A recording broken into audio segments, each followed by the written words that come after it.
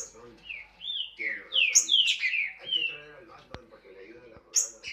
Porque si no fuera por el lupo, esa muchachilla ya se les hubiera escapado.